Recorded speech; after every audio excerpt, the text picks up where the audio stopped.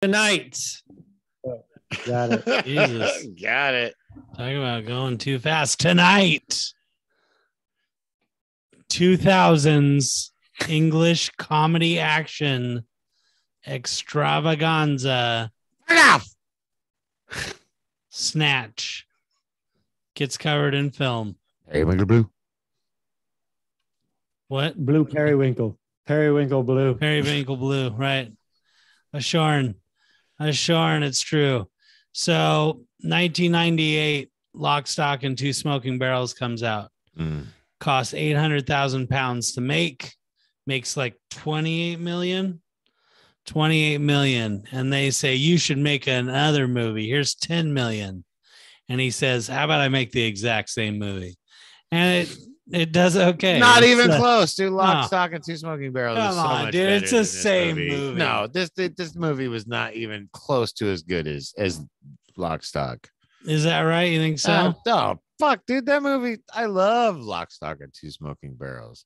Eight eight heads in a duffel bag even is better than this one. that one's not Guy Ritchie. Oh, How do you feel about Rock and Rolla? E- either one of you guys ever see Rock and Rolla with Gerard Butler? have not? No. Actually, pretty good. Actually, pretty good. Guy Ritchie, uh, famously dating Madonna at this point in 2000, pays a Mm, million dollars to put Lucky Star in the movie. Good point. Um, eight years of marriage and one kid later, two kids later. Who cares? Russ, rate it and grade it.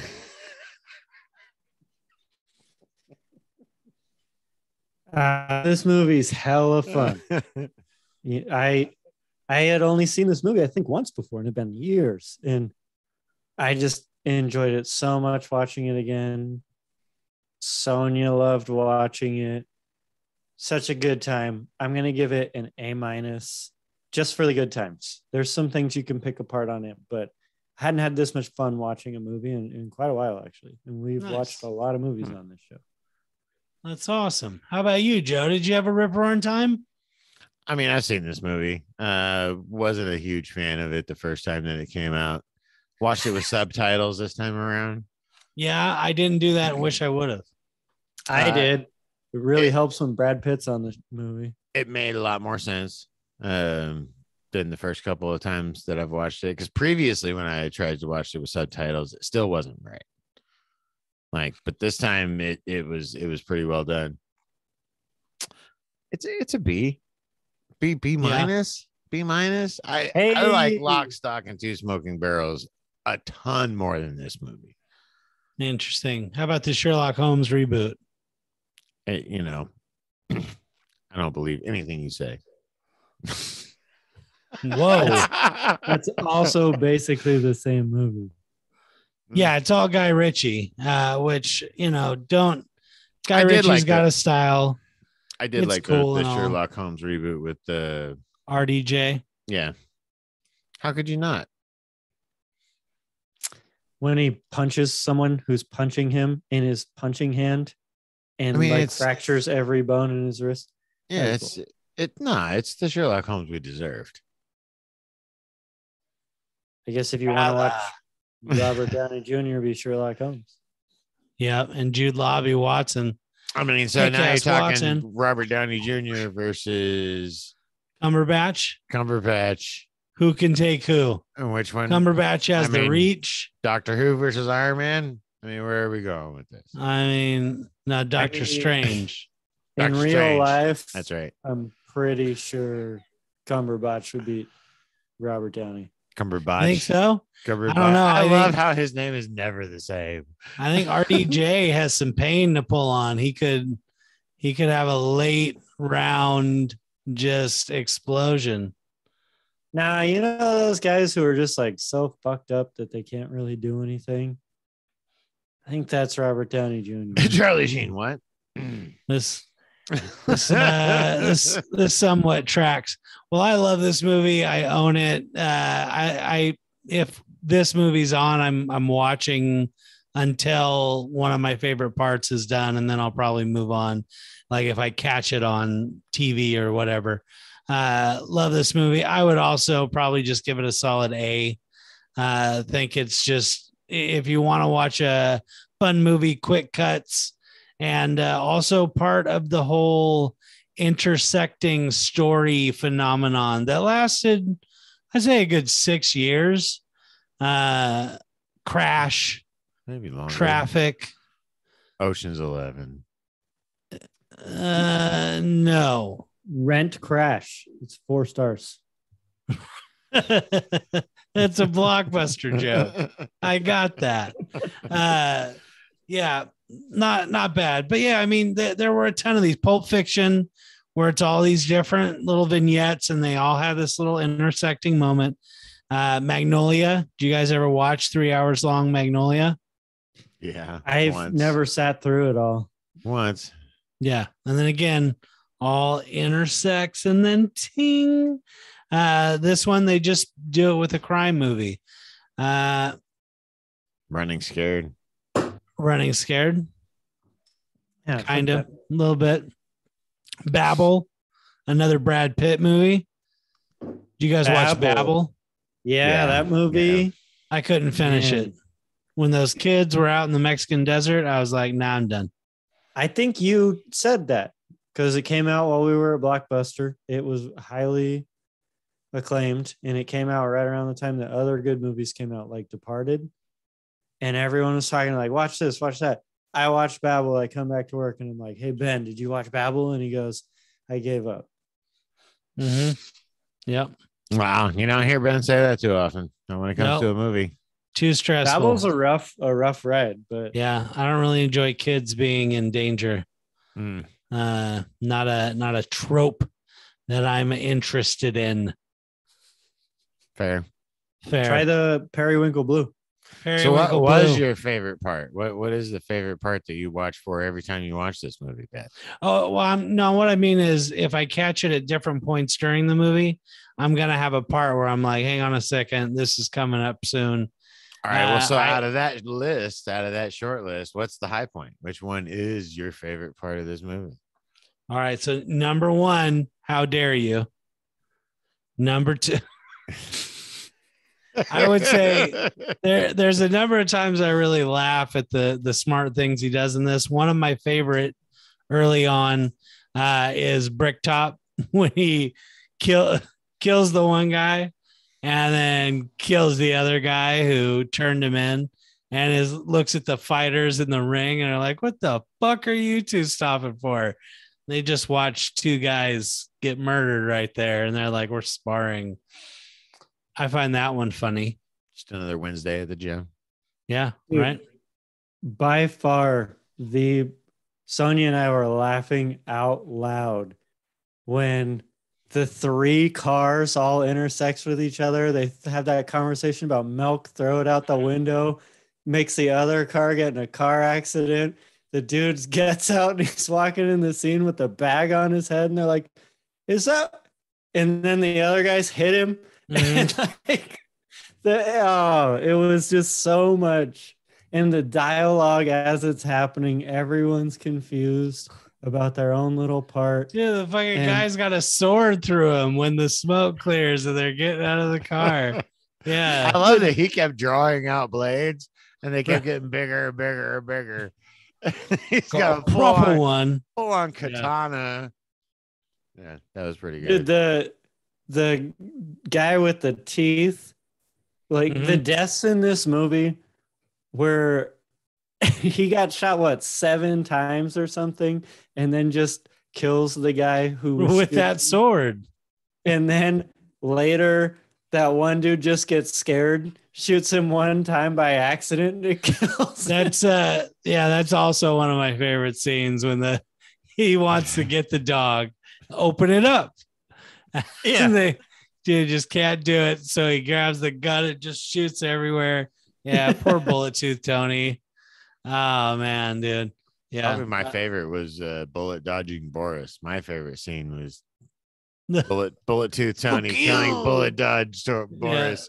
Just You miss. What? he had to actually stop and Yeah. He's like almost that time. yeah. Yeah. Kept throwing bullets down the hallway. I'm gonna fucking die already. One of the parts I liked about that scene too was pull your socks up. I'd never heard that before. Uh-huh. and uh, I was like, "Why the hell did he say that?" And then I got it. And I love it when he then called I out what got was it. on the. He's like, based on his little monologue about their their gun saying replica on the side. Right. Yes. Shriveled balls. Yeah. See, So, so many so many yeah. call outs of this movie call me back to scenes that were done better in Lock, Stock, and Two Smoking Barrels. Right. Right. I, I feel like some of those scenes, those moments were just more like more ball punch in that movie Mhm. than they were in this movie.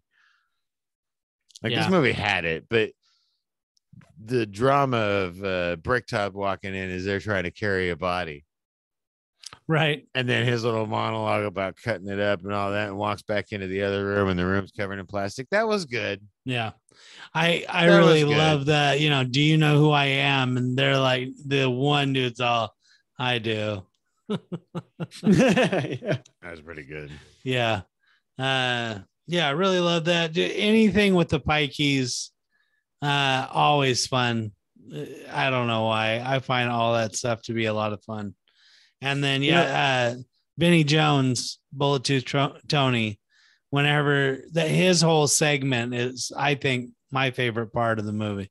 I really like that actor. I, I Yeah. like I like most roles guy that, is he good. reprises, Yeah. and he does a good. I feel like he's pretty. He's got a lot of range without being obvious. And a lot of people say he's formulaic and he's the same character from one movie to the next, and maybe, but I don't know. I really like that guy. Like that character. No, I like the the actor. He always I always like the character of whatever. I always like whatever character he's playing in whatever movie he's in. Yeah.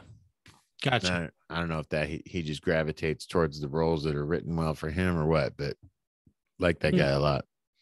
Probably. I guys- mean, he, he was a pro soccer player before he got started getting casting roles. Right. Do you guys remember him in X Men? I'm the juggernaut, bitch. Yeah, that was so Uh, funny. that was the worst one. And out of character for him as an actor. Like he, he Yeah, typically and play and roles. like he's not a small guy, but he they made him look a hell of a lot bigger than he is. Yeah, yeah. Not not a juggernaut sized dude. No. Hey, when you think of this movie, do you also think a little bit of Kiss Kiss Bang Bang? Because I do. Uh, I don't, but you know, fun Kiss, fun kiss, fact. bang, bang. I hardly ever think of Kiss Kiss Bang Bang. But that's a damn good movie too. Also Not bad. British. Similar kind of colors on the the. I, I always think of blockbuster when I think of movies, and I think of like what did the DVD look like on the shelf. These Mhm. movies looked very similar. Yeah. Um, they had like a similar kind of casting style. Um, they were definitely not the same movie, but around the same time frame. And God, I- do you guys remember when you used to have to walk through a video store yes, and I do. look at I the know. So covers far, I'm of with a you. movie and read the synopsis on it to decide if you wanted to watch it, dude? You you pause for five seconds on something on Netflix and you're watching the trailer. Yeah, You know what. I mean? Like, freaking Right. these kids nowadays got it Life so is easy. Life has changed. Four Ben, dollars, get home, pop that movie in the VCR, realize you got to rewind it, get that done. Popcorn's cold, start it, and it's a shit movie. popcorn's cold because popcorn Fuck. stays hot for a long time. You got how long Here's- it takes to rewind a movie? Be kind, rewind, motherfucker. By the time I Good movie. started, I started working, VHSs were gone. But if I recall correctly, didn't weren't you there for the transition from VHS to DVD? the end of it, yeah, it sure was. Yeah. Wait, I want to just talk beta for a minute. Or laser. Can you talk beta for a full minute? What about laser disc? No, you can Go. really can't talk beta for a full I'll talk- minute. I remember uh, being so into Clerks and hearing that he had an alternate ending on the Laserdisc that I I considered buying the Laserdisc to try and get to watch it at somebody's house who had a Laserdisc player. laser discs were just giant friggin' record sized DVDs. They were cool Yep. though. Yep. You guys remember Blu-ray?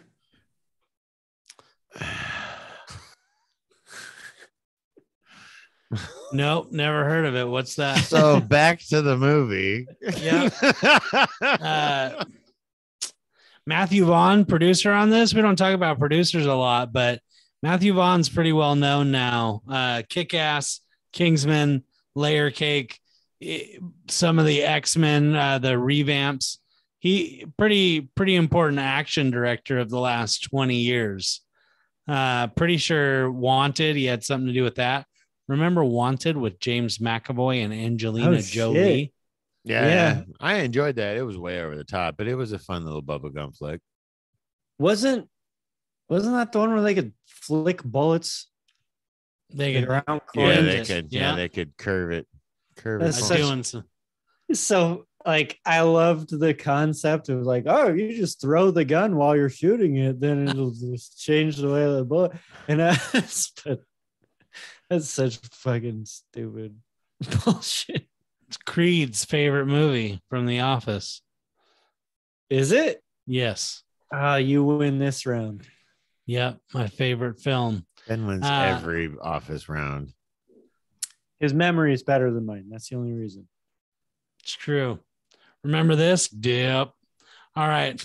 Uh, I love that in the opening scene. I love that in the opening scene, they're they're having a discussion about the Virgin Mary. Uh, that's actually an homage to Reservoir Dogs, where they're talking about like a virgin. right. Um, that little scene and Benicio del Toro, interesting role for him. Not his best, but you know, I I think this was right. Wasn't this right around the he might have fucked Scarlett Johansson in an elevator time frame? I feel like that was that was right around this time. I think Ben- you're the Ben knows- only person that not marks both their careers with that intersection. Um, I mean, Ben would know ben would know. every moment in time. Finger on the made- pulse. I've got my yep. Hollywood Wire has my personal number. That is funny as shit. Well, I mean, I know Del Scarlett Toro Johansson. like flirted with success and then dropped off the radar and then came back. I don't know if this was before or after though. I think it might have been before. Like he was getting popular and then he disappeared for a little bit. He was. Yeah. when I think of Del Toro, the two movies that always stand out to me are Usual Suspects, where he's just like, "I'll flip you," because it's so freaking weird to me that he says, "I'll flip you," and I've never fully understood it. And then Sicario, he's just so good in Yeah. Sicario. Mm, Sicario is a good movie. I'd like to rewatch that actually. fair. Fair. I'll flip you. uh, Sean Connery early on talked to about being bricktop. really? Interesting. Yep. Nah, I I don't think that would have worked as well. The guy that was Bricktop was perfect. He was Agreed. absolutely perfect. I loved Agreed. the size of his glasses too. Dude, the- yeah, the glasses. The glasses made the whole and the and the dental health. hmm I mean, Greedy He seemed very- a pig. Oh, it's hard to watch. Very British. yeah, Like, definitely. true. I remember a British friend of mine saying how much he enjoyed America's dental coverage when he came here to work. Nice. I, I always marveled, like for me, the scene that that character came into his own. Like he was kind of a bully and all that shit, but I didn't really get the feeling of him being a really like hoss until he walked in when those guys were trying to move that body. Yeah, and then got the little scene and then in the middle of his little intimidation bad guy monologue his cohort comes in and gives him tea and then walks out of the room like like you came into our space discovered us having a body you want to sit down on the couch intimidate us this guy brings you some tea and then they walk out and the room's all covered in plastic like i mean it was like oh that kind of bad guy. mm-hmm. Yeah. The for me when it clicked that like this guy's serious is when Turkish and his lackey dude have to go explain to him Tome. that they don't have their fighter anymore. And they Mhm. go into that back room and the dog fights are going on and stuff. and when he says uh that they when he first tells them that they don't have their fighter anymore and everyone in the room gets quiet and it's just glasses guy is like i'm sorry you're gonna have to repeat that and you know that these guys are all gonna kill you if he just tells them to Yeah, right. The uh yeah, the British underground. It, I feel like uh Pulp Fiction really changed like how we wanted our cri- criminal movies to be. Uh and this was another big spin for that kind of stylized look that led to I I don't know when Ocean's 11 came out, but Ocean's 11 made like a lighter version of this that didn't have so many murders. right. Sonia loves Hugely- oceans 11 I hugely hate popular comparing it movie. this movie How did she feel about this movie? Uh, it was probably the best movie that we have watched on this show you know that she's had to watch that she had not already seen. Oh, nice. she, she loved loved loved this movie. She was laughing way more than i was. I think she liked it more than i did. She also gave it an a minus but i think deep down she was more of an a. I asked her like i hadn't seen her enjoy a movie that much in so long that i said did you like this more than fifth element? Because fifth element's like her favorite movie. And she said no but it's up there Interesting. and that was cool Yeah. Yeah, Kelly enjoyed it as well. Uh, there were a couple of parts she wanted to rewind. We should have had the uh, the subtitles on. She really loved the comment that uh, penis has drive and clarity. yeah, that little monologue was great. Yeah, one of And you just One of my favorite things- balls. One of my favorite things about having the subtitles on was that when they're talking in pikey uh it it just says mumbling when it's not supposed to mean anything. Yeah, and there's sometimes where it it actually says what they're saying but you would have assumed they were mumbling because they you can't understand it Hmm. and and then there's other times where you can tell oh that was intentional you were not supposed to understand that part which is funny because I noted specifically when uh Mickey, Mikey was talking about the caravan that he wanted them to buy for his mom. And it went Bleh. and it went off into the he was consulting with his buddy and talking about the options and it said inaudible. And i distinctly after because oddly enough with the subtitles on and listening to him i was able to actually understand him more. And he said something about cushions like there was something in there flat out about cushions. Like he was talking about some some additional colors for the cushions and stuff. So it was funny. I- first person that's ever going to argue that they understood more of that guy's speech. with the sub than the subtitles. Yeah. How'd you guys feel about Jason Statham in a non-transporter like role? yeah as the guy who avoids fights No And- jump kicks.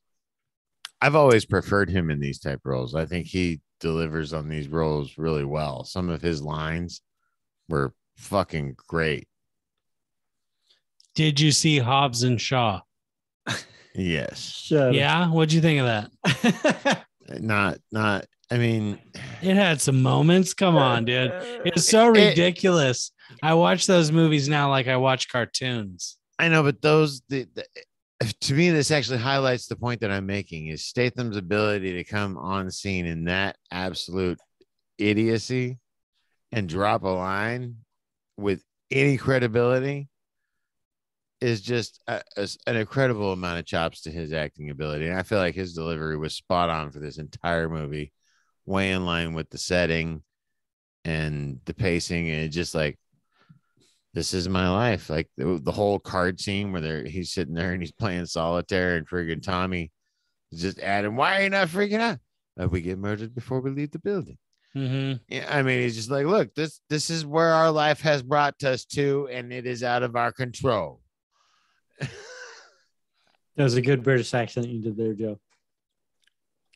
Uh, Really. Hobbs and Shaw. We've talked about it before. we I watched the whole thing too. It's like watching cartoons. That movie sucks. But uh, I agree with Joe. Made eight hundred million dollars. Yeah, good for them.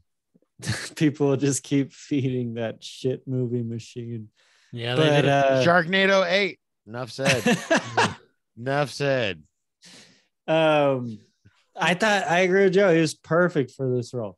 It was funny. Um, I when I saw him on screen, he he was like skinnier than he is now, and he's got hair. He almost looks different, like a different guy. But you can tell it's him. Mm-hmm. One of his name is still Jason Statham. And it sounds just like him. Right. Also, yes, the voice is a match. Yeah. My I'm not so sure about the color though. what was your guys' least favorite part of the movie? Uh, you know, just a fun, fun little thing before that. I remember playing this movie for Priscilla's mother's mother, Priscilla's grandmother on her mom's side. That would have been And I thought she would enjoy it a little bit, but got done and was like, So what'd you think? She's like, the the best part is the song that's playing to show that the credits have started. Uh I always find that kind of funny. Oh, we didn't talk about music in this. The music. Oh yeah, the this is soundtrack. That's my final note. Soundtrack's great. yeah. Um, Agreed. okay, what I did not like about this is I just had so much disbelief in Brad Pitt's ability to knock out all those enormous guys in one punch. It was just like, ah, come on, the movie's so good, but can he just try a little bit harder than just one punch every time? It's ridiculous. His I- hands I- were literally I- made of concrete. I would disagree, man. I mean, they did. They gave a little bit of background for it. Him being the championship bare knuckle fighter in the gypsy community. Whatever. I've watched UFC. That shit just doesn't happen. Have you watched the bare knuckle fights? They're bare knuckle in that shit. No, they're Yo, not. just, No, they're not bare knuckle. They got they're they're Oh my wrapped. It's not the same. They're wrapped in that. Is the same level of force is hitting the jaw. It might not be cutting your jaw open because it's got something else on there, but I believe it. no. I've seen It was it was almost like you knew a little bit of judo in there to get momentum. And then he just knows where to find the button. What are you talking about? Brad Pitt was on the high I just- at this point in his career. Like Rock that. Oh yeah, yeah. He was he he he sought out Guy Ritchie for this movie after Locked Stock and this may have even actually Let's been Make a, It Again. a low What? point in his career. I feel like this was What? similar. He was just coming off a Fight Club, bro. I but I don't feel like I mean this movie I feel like this movie got more traction because of him than on Yeah. its own quality. I mean, he had some of his highest amount of juice Yeah. ever during this time. Taichi Toji's home. Ah, Sean. Uh, my worst part that this show has to end. Like, subscribe, click the bell. Ben is sad. Oh,